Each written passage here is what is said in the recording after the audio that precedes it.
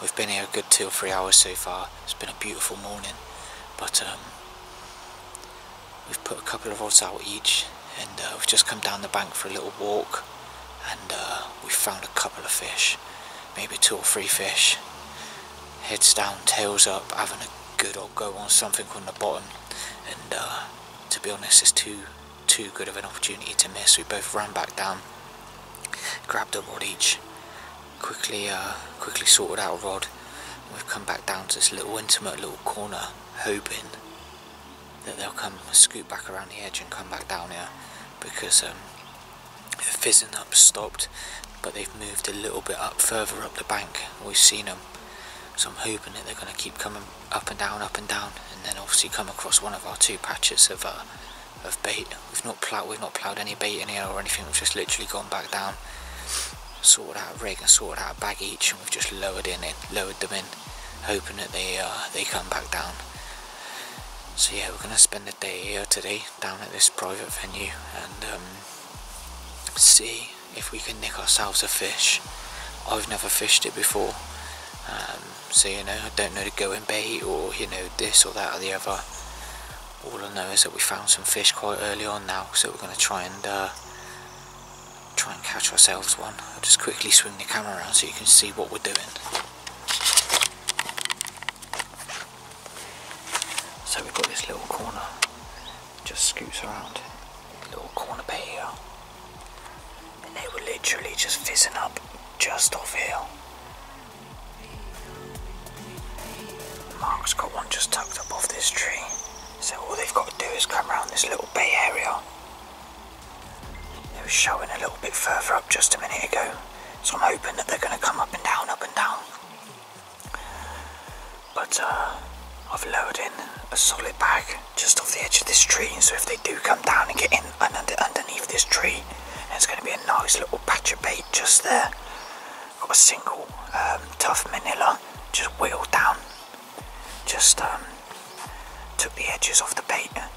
It's got some pellet and some uh, crumbed sort of chopped up manila inside it, so there's a lot of little bit, little bits and pieces in there to get them grubbing around. then obviously a real basic solid bag rig. But yeah, that's just been lowered in down here. So um, so yeah, hoping, just hoping that they'll come back down that margin and uh, and have another go. If they've always, if they've already found bait down here and they know that there's bits and pieces, then they might just come back down. But uh, but yeah, the weather's looking alright. When it pokes out these clouds above my head, it's going to be right in this corner. So uh, so yeah, we're definitely going to be um, sitting tight here for a good hour or two at least until you know until we feel the moment's passed or we might have missed our opportunity, you know. But at the moment we've got a couple of rods out and uh, yeah, we're hopeful of nicking a bite.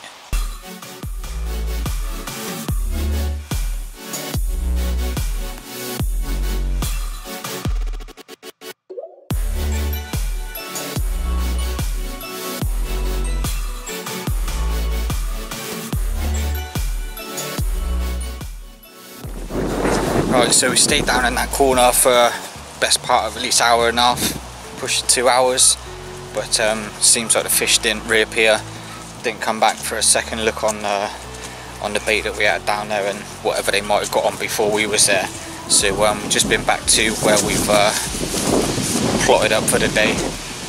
Just made a little bucket of uh, goodies ready to go and dump down in this corner really.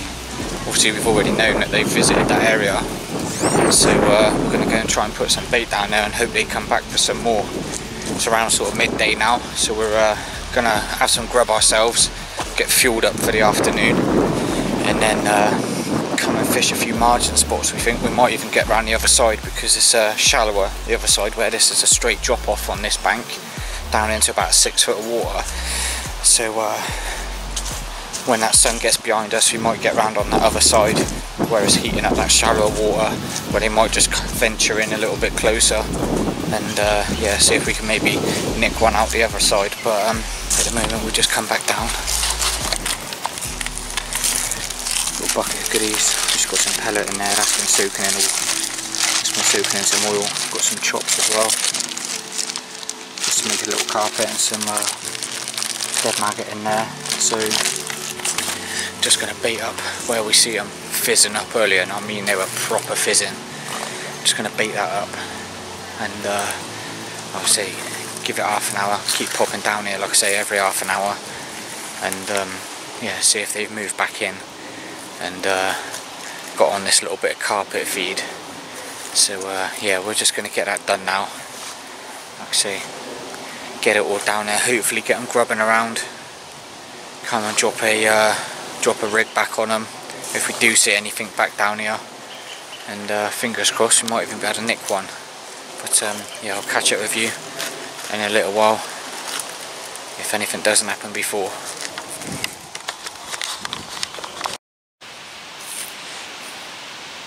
Right then, as you can see, got a rod just over my shoulder. We, uh, like I said on the last little clip, we went for a little um, little wander, and didn't really pay off really. I think we might have missed that, missed the fish down on that corner by uh, by the time we got our uh, rigs and bags and stuff ready. So we've been back to the swim and uh, had a bit of food and stuff like that. I finished up and decided to go for a little walk and um, I found a few fish on the other side of the lake just scooting up and down um, sort of maybe a foot or so under the surface um, only about two rod lengths out, three rod lengths tops. So me and Mark have uh, just done one rod each and just brought them round. These two two little spots down. And I'm just in between these two little uh, two little lily beds sort of I don't know about here.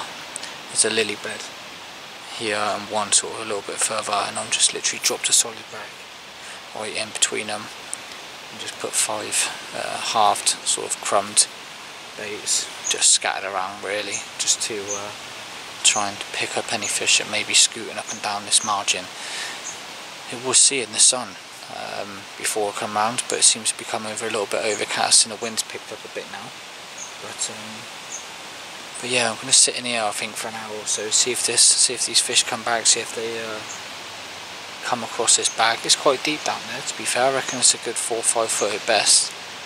Um, but it goes down nice and firmly, there's a nice solid bag down there, a bit of crumb oily some little pellets and a little wafter inside. So, uh, so yeah, just to sit back, be patient and uh, see if anything happens, so fingers crossed. But I think the uh, main aim of this session is that we're to have to stay mobile really.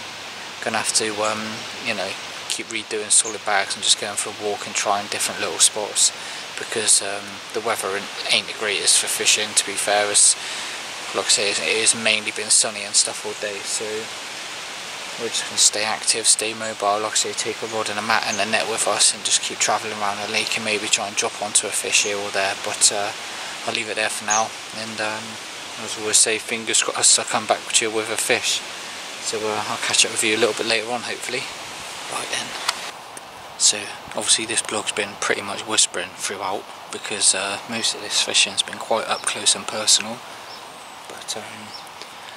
As you have seen from the previous clip, we was up around on the uh, one of the sides after seeing a couple of fish mooching up and down. But um, we spent a good hour or so in there nothing materialised but we've just come down this back bank although it looks overcast now it was absolutely blue skies about five minutes ago and uh, we literally see probably about 20 fish out in front in this margin literally all up and down all the way just crawling with fish. We stood there for a good five minutes watching them and uh, they've been scooting backwards and forwards.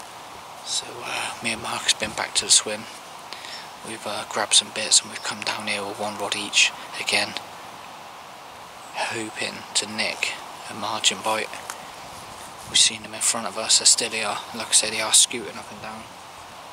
The birds are driving us mad at the moment because uh, they know it's uh, pretty shallow down there and uh, I think they've clocked obviously what we've been doing so we're just trying to drive them away at the moment.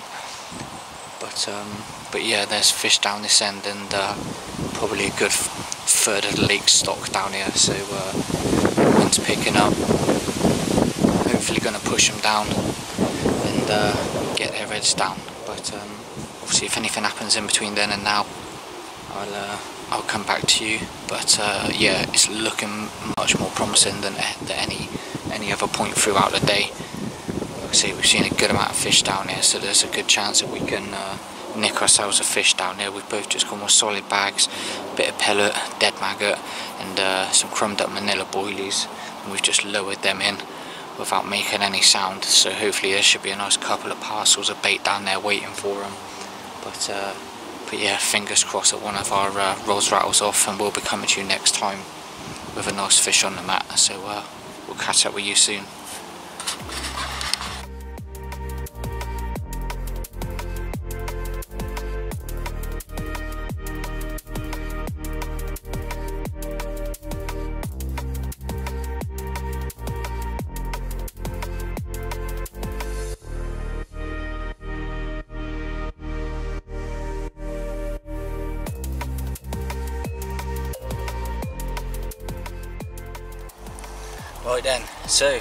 Reward of a few hours stalking, done a, done a lap of the lake, a couple of laps of the lake, plotted up up and down the bank, and here's our reward, nice 14 and 3 quarter mirror.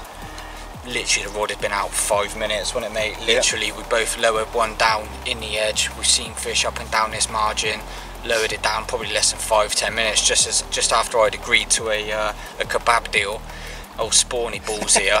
goes in nicked one straight away. Great little scrap under the rod tip. But yeah, absolutely pristine little mirror. Quality little scale pattern on him. Give him a good little scrap under the uh, under the rod tip. Those solid bag uh, tactics seems to work, aren't they, bud? Yeah, so definitely. We're to. Well, got a mixture in there, wasn't it? Yeah, and pellet, bit of dead maggot, a few crumbed up boilies and stuff. The sun's coming back out now, so we're hoping that they're going to start mooching up and down this bank again. But we've been doing some pictures, so we're going to slip it back, and fingers crossed it's my turn next. But yeah, well done, buddy. Nice, nice one. one. Cheers, mate. Cheers.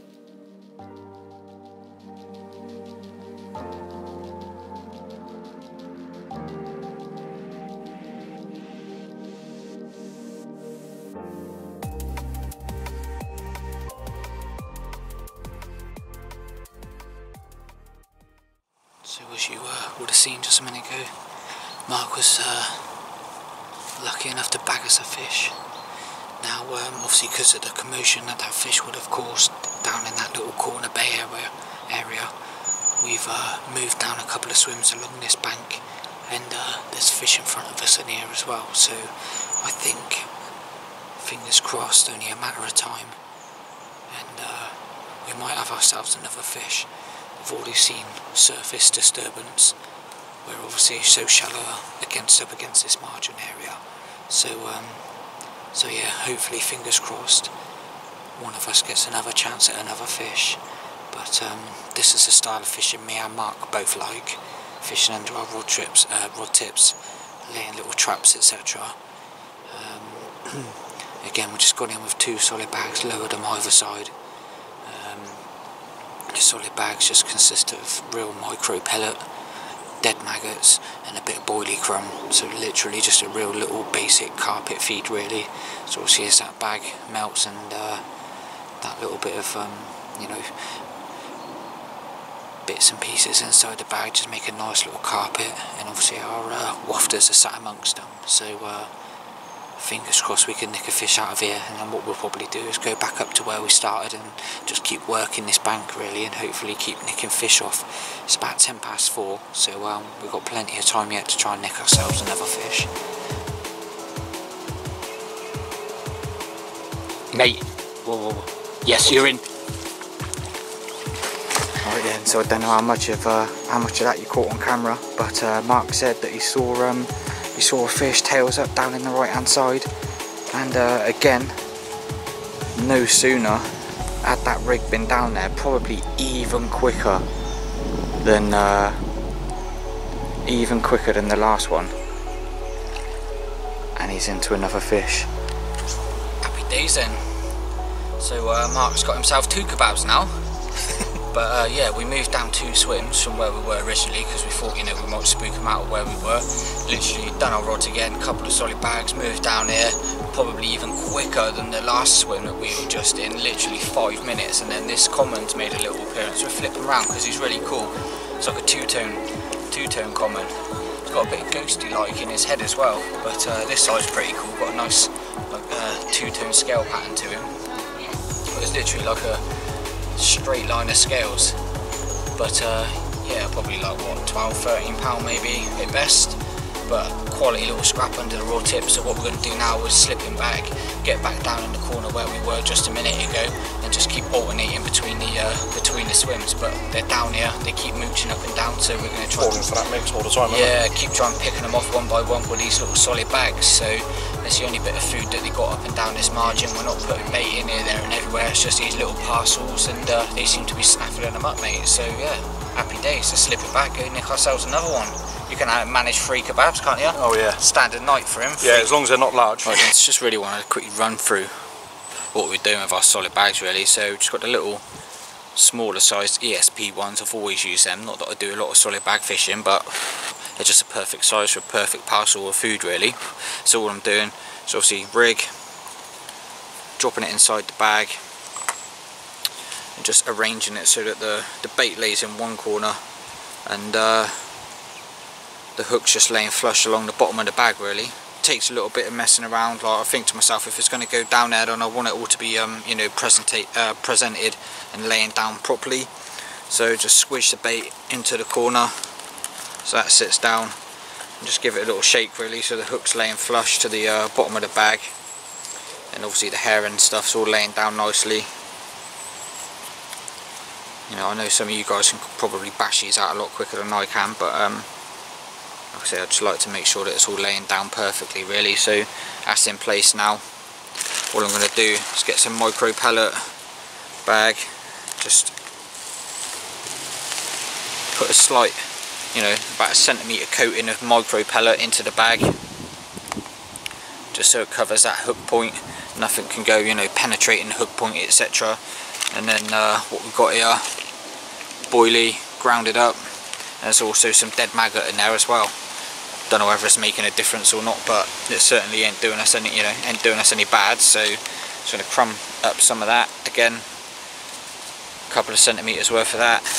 Just stick some pellet on top. You're just building the bag up in any way you really want to to be honest. There's no right or wrongs to solid bags to be fair. Just tend to keep it in smaller pieces because it's easier to compact down. So that's about you know two-thirds full not really putting loads in there to be fair. Just drop the lead into the center of the bag. We're only underarm you know dropping these out underneath our rod tips so they don't have to be you know immaculately formed in any shape. But obviously if you're fishing at distance you want them compact and as tight as you can get them so there we go. Three quarters full. Just give it a little prod down just to bed it all down. Just as easier to tighten it up around the uh, tubing or the stem, whatever you're using. Just wetting my fingers, run it around that free bit at the top, twistle it around, and you'll find that it sticks to the stem or the tubing, whatever you're using. So to be honest, you could probably just dump it out in the underneath the rod tip like that, but a bit of a neat freak myself, so I just like to tidy it up anyway. I think it helps as well when it's down there just to give it that sort of explosion um, the tighter it is obviously once that PVA melts it all just explodes and makes a nice little carpet. So give the corners a little dab stick them down hold it down for like 10 seconds. You notice that the corner's gone in same with this one. Just push the bait in little tap. You get that extra little bit there. Give them a little lick. Stick down. You should find that corner's down like I say, it's not the tightest, it's not the most compact, but we're only fishing under our rod tips. But obviously, the tighter you make these, the more aerody aerodynamic they are. And obviously, you can put these out at distance. But uh, that's one perfect little parcel of food. It's obviously done Mark two fish already, so uh, unless he's going to be greedy, he might let me have a turn now, to be fair. So we're going to fish back on these same spots that we were on, you know, half an hour, 40 minutes ago. See if we can catch ourselves another one.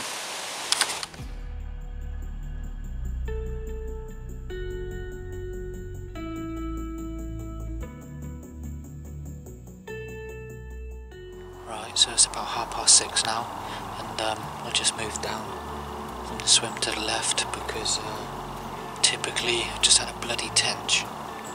Just as me and Mark were I was looking banging for another bite we wanted to spend the last hour up there. Because we didn't want to stay too late anyway obviously with it being Sunday night etc But um, but yeah, I'd had a bloody tench, so I uh, quickly knocked up a solid bag. And I said, that's it, I'm going to come down in this corner just give it the last half hour. Obviously, it all changed up there in the space of half an hour when we move round, so there's uh, always a chance of a bite, as you can see, just down here. A rod laying down, just poking out between the uh, between the reeds. I've just kept it real low key really close in, just literally under the rod tip again with one of those solid bags.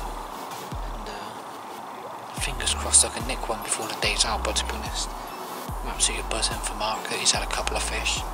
And uh, it was good to obviously get him on camera as well, so I'm not that bothered if I don't catch, but obviously it would just uh, just end the day on a little bit of a high.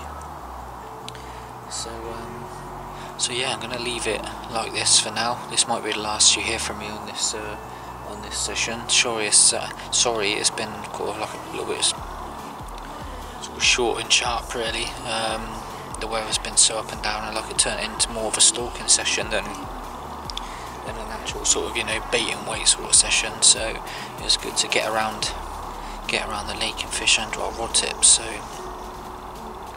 fingers crossed if I nick one before the, obviously the the night's out, obviously I'll flick the camera back on. But um, if not, not decided if this would be a uh, sort of individual little short blog or whether it would be um, part of Martyn's movements, the uh, August um, August one. But uh, obviously next week I'm doing 48 hours on Orchid, 48 hours on Linear, and then finishing off down the Syndicate um, for the week. So. Uh, so yeah, I might just keep this one as a short little day session blog and just kind of fill it, fill it out. But uh, rabbiting on now, so I'll shut up and leave you to it. And like I say, if I don't come back to you before the session's over, I will catch up with you soon. But yeah, thanks for watching. Don't forget to subscribe as always. Keep up to date with my little my little adventures and you know what I'm getting out and about and doing on the bank. And uh, don't forget to come over to my Facebook page, say hello. You know, ask anything about you know where I'm fishing, rigs, anything like that. But um, but yeah, thanks for watching. We'll uh, we'll catch up with you soon. Cheers. See ya.